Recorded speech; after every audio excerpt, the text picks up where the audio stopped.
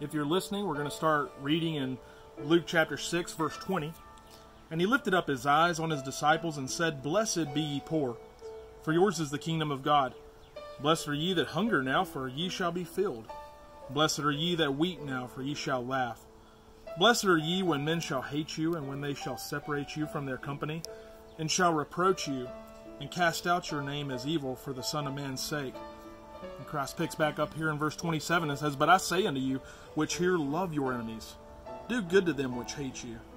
Bless them that curse you, and pray for them which despitefully use you. He goes on to say in verse 35, But love your enemies, and do good, and lend, hoping for nothing again, and your reward shall be great.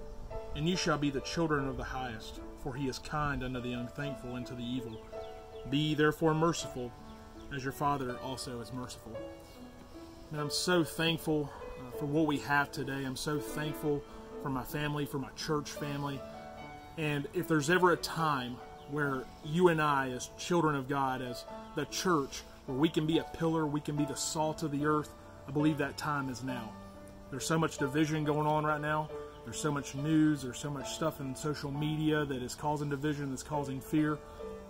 But I think you and I, as children of the living God, we can bond together, we can take a stand.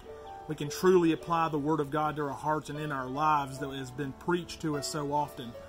I want to encourage you today to continue to read your Bible, to continue to find strength in the Word of God. We know that this is inspired Word. This is how we gain salvation. It's through the hearing and the understanding of the Word of God. Child of God, Victory Baptist Church, today is that day. Take that stand. Be the pillar, be the salt of the earth that you're called to be, so that others may see you and glorify your Father that's inside of you. And take hold of this word. Be merciful. Show your enemies mercy.